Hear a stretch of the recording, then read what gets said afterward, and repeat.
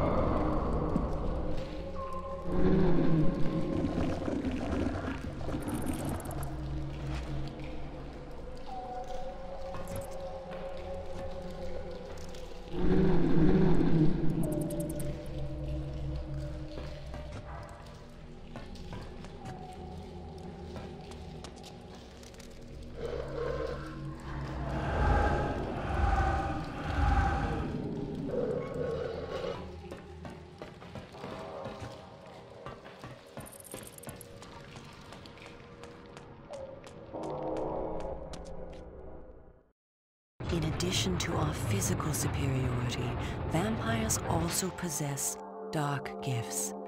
These are our supernatural abilities. Our curse develops differently in each of us, giving us unique powers. Much of your former power, Kain, has been weakened during your long hibernation, but you yet retain a single dark gift. The mist you see here can be used to your advantage. You have the ability to assume a mist form and become nearly invisible. You can move silently to bring down your prey from behind. At times when you are outnumbered, look for mist from which to kill your enemies silently. If you are pursued, you can hide in mist to escape. Now, use this gift to kill those before you in the cemetery. I will let you continue when the deed is done.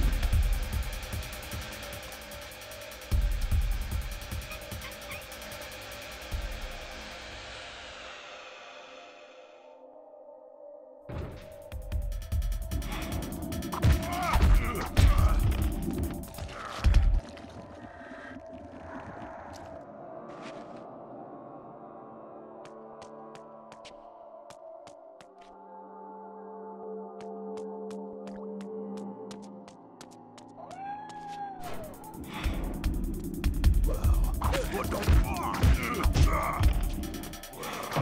have